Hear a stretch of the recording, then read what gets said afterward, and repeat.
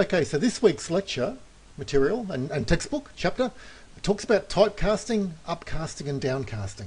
Okay, so it's all about casting. So what does it mean? How does it work? What are the tricks and traps? Um, you come to the right place. I want to show you exactly how it all works with some clear examples and you can uh, apply these in your own work and it'll become clear very quickly. Okay, so typecasting, a quick recap. Uh, typecasting is where you force conversion from one primitive data type to another. For example, if you try and uh, declare an integer int k equals 20.3, that'll give you a compilation error, incompatible types. Uh, an integer can't contain a, a floating point number. Um, if you say double my double equals 20, that's perfectly okay because the floating point numbers are all the integers and all of the values in between. So, um, and the value 20.0 would be stored inside my w, in my double. Okay, so that's perfectly okay. Uh, when you want to convert a double to an integer, we could say int k equals int 20.3. That's perfectly okay. Or int my double. So what you do is you put the data type inside round brackets and then the value. Okay, so it's pretty easy. It's something you've done before. That's just a recap. Um, if you want to convert int to a double, we could say double my double equals double k, and that's converting the integer to a double. Where, where k is the integer. Uh, but double is a superset of integers. It's all the integers plus all the values in between. So you don't actually need to worry about doing a conversion there. Uh, double my double equals k, and that's perfectly okay. Okay, that's that's a typecasting re recap. That should all be uh, familiar to everybody now. Um, so let's talk about upcasting and downcasting. That's what I really want to talk about. Let's see how they work, what the rules are, what the traps are, and so on. So upcasting and downcasting are not like casting for primitive data types. So they're not like typecasting at all. You've got to be careful and uh, keep that in mind, otherwise you'll be confused. So upcasting is where you have an object of a subclass type that's treated as an object of a superclass type and that's done automatically by Java. And then you've got downcasting, and that's where an object of a, a superclass type is treated as an object of a subclass type, and that's got to be done manually by the programmer. Okay, so there's upcasting and downcasting. It depends on which way you're going up the hierarchy. So let's look at an example. We've got a, a little three-class hi hierarchy here. We've got animal. Uh, it's got a, a single data item called name.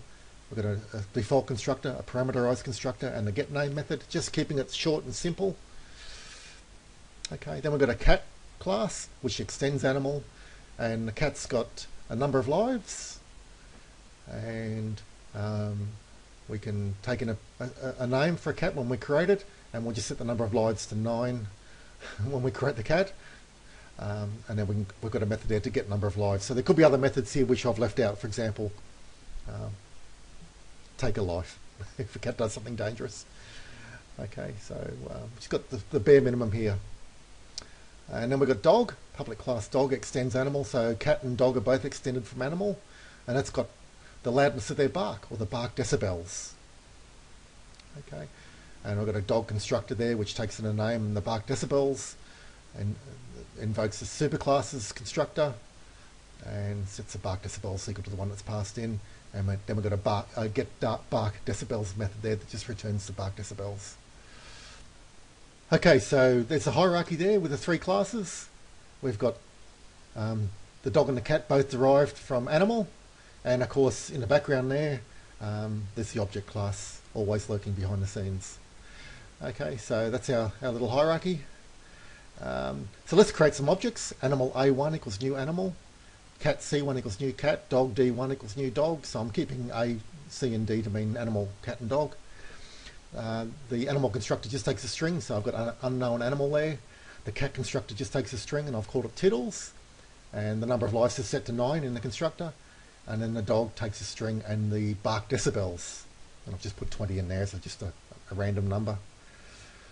And then we can invoke methods for those objects. A1.getName, C1 is a cat, so c1.getName, c1.getNumber of lives, and then d1.getName for the doggy, and d1.getBark decibels. And we can put all those into print line statements and display them to the screen. Okay, so none of the classes implement or override the toString method. So what does this code do? System out print line A1 or B or C1 or D1. What does that do? Okay, you've got to think back to prior weeks here, and uh, we've seen it a lot in the tutes, so you should should be familiar with this already. And the answer, of course, is that the object class's toString method will be invoked, which will display the object's class name and the hash code for the for the object. Okay, for example, something like that: animal ampersand and then a memory reference or a hash code, and that will vary depending on when you run it and uh, and all that sort of be different every time you run the program. Okay, it's just a, a, random number. Okay, so you'll see something like that on screen if you just print line A1. Okay, so upcasting. Uh, by casting you are not actually changing the object itself, you are just labeling it differently, you're getting Java to treat it differently, you are associating it with another type. Okay, so keep that in mind. You're not actually changing the object itself, you're just temporarily labeling it uh, with a new type. For example, if you create a cat object and upcast it to animal, then the object doesn't stop being a cat. It's still a cat, okay, just because you upcast it. Uh, but it's treated as an animal object and its cat properties are hidden until the object is downcasted again. So the, it's, it's treated as an animal for a while until you downcast it again when it's treated as a cat again. So in Java, there's a very useful operator called the instance of operator, and it's uh, very useful for checking the type of a data item or a data object uh, at runtime. So let's see it in action. So Java provides the instance of operator so we can check an object's type. And let's uh, declare a cat, C2 equals new cat, Mitzi. Animal A2 equals C2, so we're doing an upcast there. We don't need to put a, uh, a, data type in front inside round brackets because Java does the upcasting automatically for us. So animal A2 equals C2. Um, so animal A2 is an animal, but it's temporarily labelled as a cat. Okay, so for the time being, anim, uh, animal A2 will be treated as a cat in Java. So if A2 is instance of cat, we'd see A2 as a cat on the screen. Otherwise, we see A2 as an animal on the screen. So what would be output by that code? And I think everyone can guess the answer. We'd see A2, A2 as a cat. Okay, so A2 is then an instance of a cat once we do this upcast. Okay, because it's pointing at or being treated as a cat or labelled as a cat temporarily until we do a downcast again, which we'll look at shortly. Okay, so that's the instance of operator. Very useful. Um, it's a good idea to use the instance of operator a lot when you're doing casting, upcasts and downcasts, just so you can make sure you're doing something sensible. Uh, instead of these two lines of code, okay, cat C2 equals new cat and animal A2 equals C2, uh, we could do it all in one line of code. For example, animal A2 equals new cat Mitzi, and that's still an upcast, equivalent to those two lines of code there. Okay, so we could do a shorthand if we'd rather. Now that A2 is a cat, what would this line of code display? Print, print line A2. Okay, so it's A2 is a cat, so um, the toString method in the object class will be invoked, and it will output the object's class name and the hash code. And of course, this time it'll be cat followed by the hash code, which will change each time you run the program. Okay, so we see cat there. So A2 really is a cat. Not only is instance of saying it's a cat, back here, instance of, A2 is a, is a cat, but also the, um, the, the, the toString method behind the scenes is also showing it's a cat. Okay, so A2 is a cat. So even though that's the case, Java still requires reassurance that we know what we're doing. Okay, um, we've, we've labeled an animal as a cat, but Java still wants us to reassure uh, it that we know what we're doing. So um, if you try and do this sort of thing, so A2 is a cat, so what would this, this line of code do? A2 get number of lives, what would that do? It would actually display a compilation error, cannot find symbol. Okay, It cannot find the get number of lives method inside the animal class. Okay, so cannot find symbol. So A2 is a cat, but it's only labelled as a cat. It's still an animal, really. Okay, so how do you get around that? How do you invoke cat classes or cat animal uh, cat methods for the A2 object? okay, because it really is a cat. And the answer is with more casting to reassure Java. And here's an example here. So we put cat and A2, uh, all in round brackets, and each in round brackets and all in round brackets, and then invoke the get number of lives method. And that just reassures Java that A2 really is a cat, and we want to invoke cat class methods. Okay, so Java just needs a bit, a bit more hand holding when you start doing these mixed uh, casts.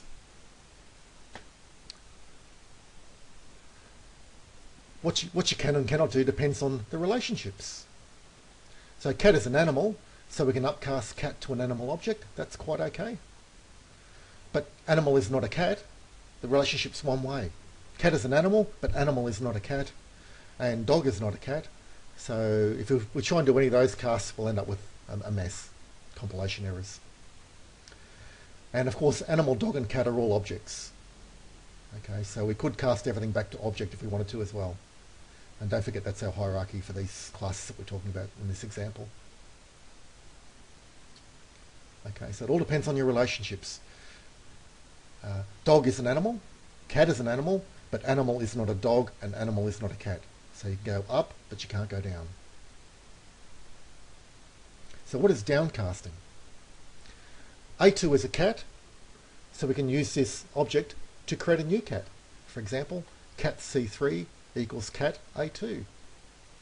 Okay, and that's that's a downcast because we're effectively reverting the um, the cat that's referred to by the A2 object back to being a proper cat. Okay, it's not just labelled as a cat; it becomes a proper cat again.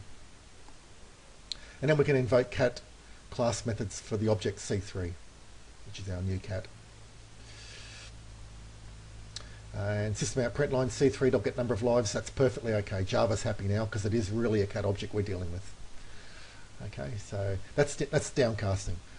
Um, and that's basically it in a nutshell. Um, that's as simple as it gets.